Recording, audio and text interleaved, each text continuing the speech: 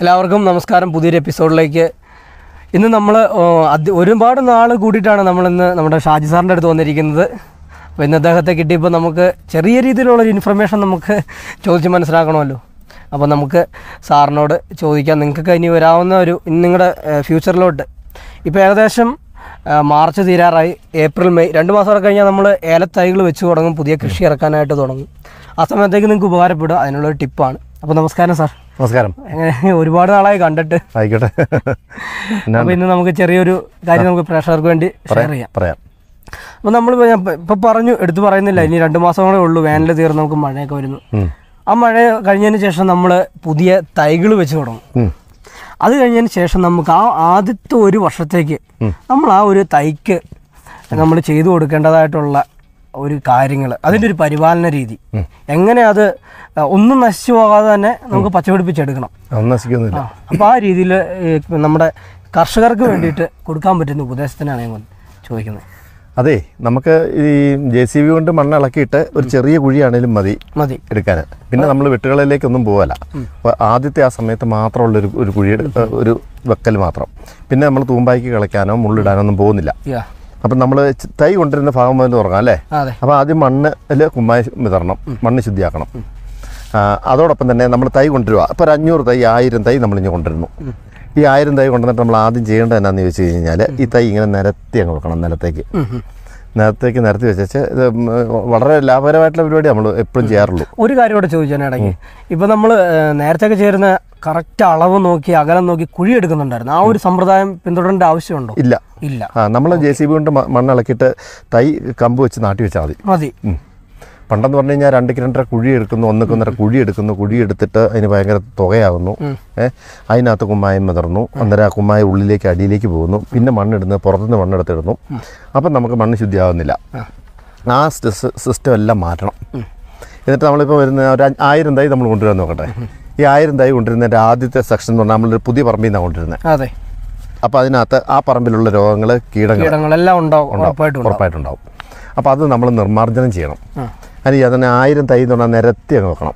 ചുമ്മാ നിരത്തി അങ്ങ് വെച്ചാൽ മതി. അല്ല ഇങ്ങനെ നിരത്തി നിലത്തേക്ക് വെക്കണം. നിലത്ത് വെച്ചിട്ട്. നിരത്തി വെച്ച് വെച്ച് ഇങ്ങനെ അങ്ങ് വെക്കുന്നു ആദ്യം നമ്മൾ അതിന്റെ മരുന്നടിയും ഫംഗിസൈഡും നിലത്ത് വെച്ചങ്ങ് ചെയ്യുക ഓക്കെ. ആ തട്ടയ്ക്ക് ഫുള്ള് തട്ടയ്ക്ക് ഫുള്ള് അങ്ങ് ചെയ്യുക കാരണം ഇത് വെച്ചേച്ച് കൊണ്ടുപോയിട്ട് നമ്മൾ ഓരോ ചെടിക്ക് മരുന്നടിക്കുമ്പോൾ അന്തരീക്ഷത്തിലേക്ക് മരുന്നും പോകുന്നു പണിക്കൂലിയും കൂടുതലാകും മരുന്നും കൂടുതലാവുമല്ലോ അപ്പോൾ നമ്മൾ കൊണ്ടുവരുന്നത് ചെയ്യേണ്ടത് എന്താണെന്ന് വെച്ചാൽ നൂറ് ലിറ്ററിൽ നൂറ് ഗ്രാം കാർബൺ ഡാസിയം നൂറ് ഗ്രാം മാംഗോസിപ്പ് ഇരുന്നൂറ് മില്ലി പൊട്ടാസ്യം ഓക്കെ.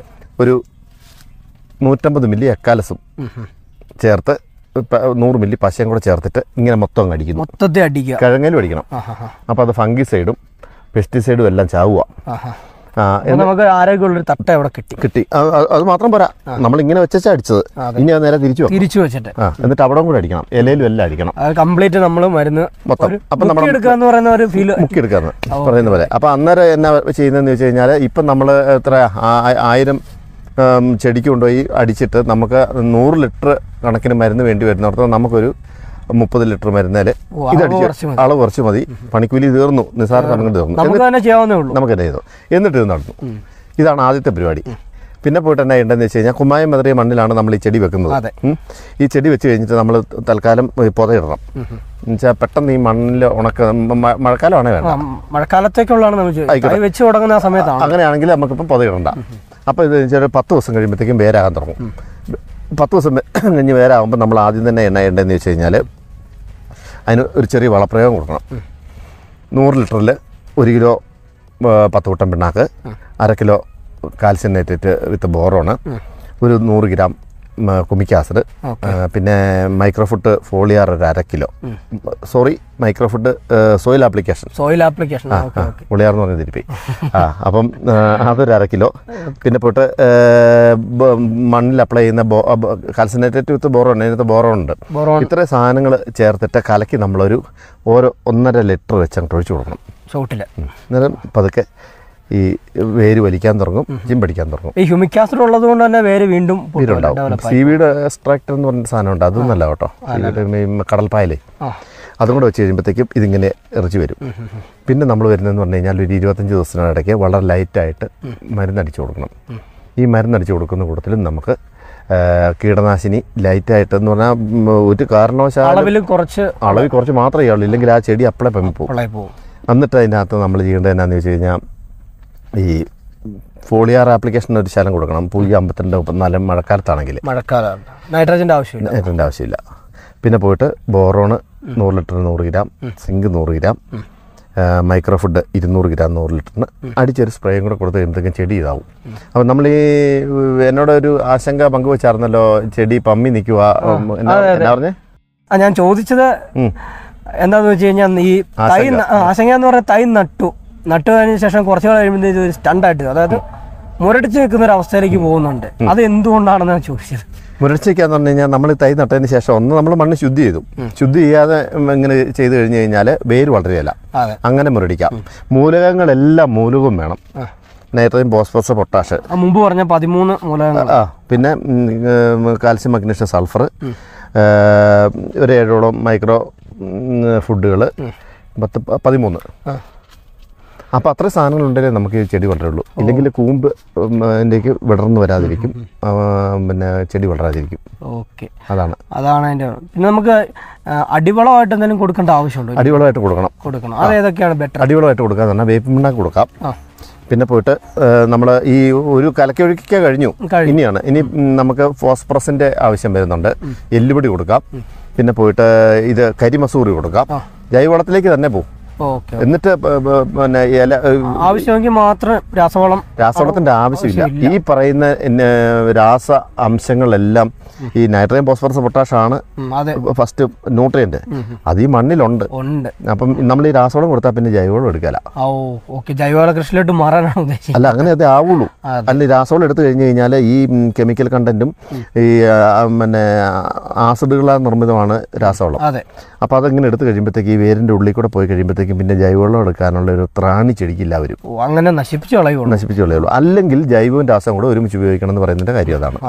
അപ്പോൾ അതാണ് ഇതിന്റെ രീതി. പിന്നെ പോയിട്ട് നമ്മൾ ഒരു മൂന്ന് മാസത്തിലൊരിക്കൽ വളപ്രയോഗം. കീടനാശിനി അടിക്കുന്ന കൂടത്തിൽ നമുക്ക് ഇച്ചിരി ഫോളിയാർ. സ്പ്രേ. കൃത്യം ചെയ്യേണ്ട ഒരു കാര്യമുണ്ട്. മൂന്ന് മാസത്തിൽ ഒരിക്കൽ ഫംഗിസൈഡ് അടിച്ചിരിക്കണം. കൃത്യമായിട്ട് ഫംഗസ് കയറി കഴിഞ്ഞ് കഴിഞ്ഞാൽ ഈ ചെടി പോയിരിക്കും. അങ്ങനെ നമ്മൾ അഡ്വാൻസ് ആയിട്ട് കൊടുത്ത് നമുക്ക് ചെടികളെ ഇല്ലെങ്കിൽ നിൽക്കത്തില്ല മൂന്ന് മാസത്തിൽ ഒരിക്കൽ ഫംഗിസൈഡ് അടിച്ചിരിക്കണം. അപ്പം അങ്ങനെ ഇങ്ങനെ ഒരു വർഷത്തെ ട്രീറ്റ്മെന്റ് വരുമ്പോഴത്തേക്കും ചിമ്പ് പൊട്ടി പൊട്ടി പൊട്ടി പൊട്ടി വിടർന്ന് ചെടി കയറി വരും. അതെ.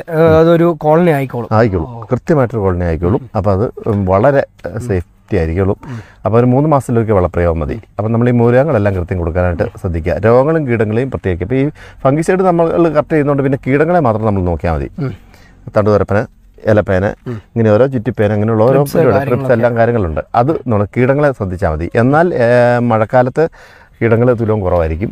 വേനൽക്കാലത്താണ് തുലവും കൂടുതൽ എന്നാലും അഡ്വാൻസ് ചെയ്യുക എന്നുള്ളതാണ്. ഏലത്തിന് എല്ലാ കാര്യങ്ങളും അഡ്വാൻസ് ചെയ്യണം.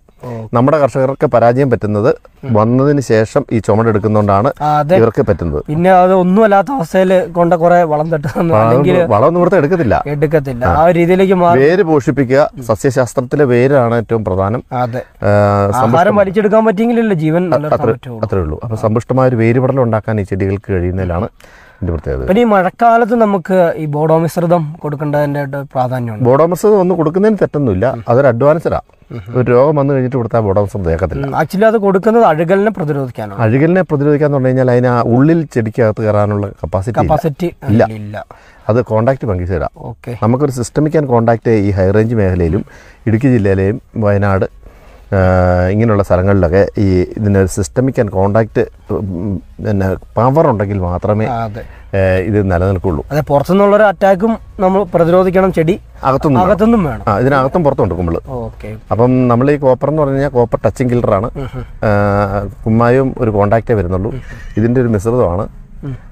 പിന്നെ ഇത് ചെടിയുടെ ചിമ്പിനൊക്കെ ഒരു പച്ച കളർ വരാനും കായ്ക്ക് അരിമ്പ് വെക്കാനൊക്കെ ആയിട്ട് നല്ലതാന്നേ ഉള്ളൂ. അതെ. പിന്നെ ഈ മണ്ണിന്റെ അസിഡിറ്റി ചെക്ക് ചെയ്യേണ്ട ആവശ്യകത ഉണ്ടാവുന്നുണ്ടോ? അസിഡിറ്റി എന്ന് പറഞ്ഞു കഴിഞ്ഞാൽ അസിഡിറ്റി ചെക്ക് ചെയ്യുന്നതിനകത്ത് ഒത്തിരി ബുദ്ധിമുട്ടുകൾ ഇപ്പം ഉണ്ട്. നമ്മൾ അതിന്റെ ഒരു കാര്യം ചെയ്യുക അഡ്വാൻസ് ചെയ്ത് വെക്കുക. നമ്മൾ കുമ്മായപ്രയോഗം ചെയ്തിട്ട് മണ്ണ് ന്യൂട്രാക്കുക. ന്യൂട്രായി കഴിയുമ്പോഴത്തേക്കും അസിഡിറ്റി ന്യൂട്രായി പോകും. ഈ കൂടി കഴിഞ്ഞാൽ ഫിസേറിയം പെട്ടെന്ന് അതെ അതെ. അസിഡിറ്റി കഴിഞ്ഞാൽ പിന്നെ വേരങ്ങ് പോവുക പോവാ. വേരിന്റെ അറ്റം അങ്ങോട്ട് പോയിട്ട് വേരിന്റെ അറ്റം എടുക്കാതെ വരുന്ന വേരിന്റെ അറ്റം ഇത്. ഇവിടെ ഇങ്ങനെ കറുത്തിരിക്കും. ഇതിനകത്തൂടെ കയറാൻ വരുമ്പം ഈ ചെടിയുടെ വേര് പൊറ്റവേര് ഉൽപ്പാദിപ്പിക്കപ്പെടും നിലനിൽക്കിന് വേണ്ടിയിട്ട്. അല്ലെങ്കിലും പറ്റുവരുണ്ടാവും. അപ്പം ഇങ്ങനെ ഈ പറ്റുപേരിക്കൂടെ കയറുന്ന ഭക്ഷണം മാത്രമേ കിട്ടുള്ളൂ. അങ്ങനെ വന്നു കഴിയുമ്പോഴത്തേക്ക് ഒരു കാരണവശാലും ആഹാരം കിട്ടാതെ ആഹാരം കിട്ടാതെ വരുമ്പോഴത്തേക്ക് ഈ പറഞ്ഞ പോലെ കുറ്റി- കുറ്റിലിപ്പ് ഒക്കെ ഉണ്ടാവും. ഇതാണ് അതിന്റെ ഒരു പരിഭാഷ. ഇതിങ്ങനെ പോയച്ചാൽ മതി. അല്ലാതെ ഇതിന് കൂടുതൽ ഒത്തിരി ശാസ്ത്രീയ നാമം കൊടുക്കുകയും ഒത്തിരി ഈ പിന്നെ നമ്മൾ ബഹുമാനം ഒന്നും കൊടുക്കണ്ട. അങ്ങനെ കൊടുത്ത് കൊടുത്ത് കൊടുത്ത് നിങ്ങൾ അത് ഇതും എല്ലാം കൂടെ അത് കോരിയിട്ടു ഇത് കോരിയിട്ടു അതടിച്ചു ഇതടിച്ചു അങ്ങനെ നാശത്തിന്റെ വക്കിലേക്ക് പോവുള്ളൂ. നമ്മളൊരു നോർമലി പോയാൽ മതി. നമ്മളൊരു നാടൻ രീതിയിൽ ഒരു നാടൻ കൃഷിക്കാരൻ നാടൻ ചായക്കട. ആ രീതിയിലുള്ള ഒരു ട്രീറ്റ്മെന്റ് ആണ് ഇതിന് നല്ലതെന്നാണ് പറയാനുള്ളത്. ഓക്കെ. അപ്പോൾ നമ്മൾ ഒരു വർഷം നമ്മൾ ആരോഗ്യപൂർണമായിട്ട് ആ ചെടിയെ സംരക്ഷിച്ചെടുത്താൽ നമുക്ക് രണ്ടാമത്തെ വർഷം തൊട്ട് ചെറിയ രീതിയിൽ കായെടുത്ത് തുടങ്ങാമോ? രണ്ടാമത്തെ വർഷം തൊട്ട് കായെടുക്കാം എടുക്കാം. അപ്പോൾ ആ ചെടിക്ക് വേണ്ട പരിപോഷണത്തിന് ആവശ്യമായിട്ടുള്ള വള്ളി ഇതിന് ഉൽപ്പാദിപ്പിക്കപ്പെടും. അത് ചെത്തിക്കളയാനൊന്നും പോകല്ലേ പിന്നെ ഒരു കാര്യമുണ്ട് ഈ ഒരു വർഷം ചെയ്ത് അതേ ട്രീറ്റ്മെന്റ് തന്നെ മതി ബാക്കി പിന്നോട്ടും പോകാനായിട്ട്. നമ്മൾ ആദ്യം വന്നു ചെടി ഇപ്പോൾ ഒരു വർഷം കൊണ്ട് നന്നായിട്ട് പിന്നെ ചിമ്പടിക്കുന്നു ശരം അടിക്കുന്നു. ശരം അടിക്കുമ്പോഴത്തേക്ക് നമ്മൾ കൂടുതൽ ട്രീറ്റ്മെന്റിലേക്ക് കേറല്ലേ? കേരള ഏറ്റവും കൂടുതൽ ഇമ്പോർട്ടന്റ് ജൈവ കൃഷിയിലേക്ക് ജൈവ കൃഷി തന്നെയാ. അത് തന്നെയാ. ആ. അതാണ് നല്ലത്. ചെലവും കുറയ്ക്കാൻ പറ്റും. ഒരുപാട് നന്ദി സാർ. ഇപ്പൊ നമ്മുടെ കർഷകർക്കുള്ള ഒരു ആശങ്കയായിരുന്നു. ഇനിയിപ്പോ ഈ വരുന്ന ഇനി രണ്ട് മാസം കൂടെ കഴിഞ്ഞ് കഴിയുമ്പോൾ പയ്യെ മഴ തുടങ്ങുമ്പോൾ തട്ട വരും. വെക്കാൻ തുടങ്ങും. ആ സമയത്താണ് നമുക്ക് ഇത് ആവശ്യം വരുന്നത്. എന്നാൽ അഡ്വാൻസ് ആയിട്ട് നമ്മൾ ഇത് ഒരു വീഡിയോ ആയിട്ട് അവർക്ക് കൊടുക്കുന്നു. അത്രേ ഉള്ളൂ. അപ്പൊ നിങ്ങൾക്ക് ഉപകാരപ്പെട്ടെന്ന് വിചാരിക്കുന്നു. ഇന്ന് സാറിനെ കാണാൻ പറ്റിയത് ഒരു സന്തോഷം. ഒരിക്കൽ കൂടി നന്ദി. ഓക്കെ. താങ്ക്സ്.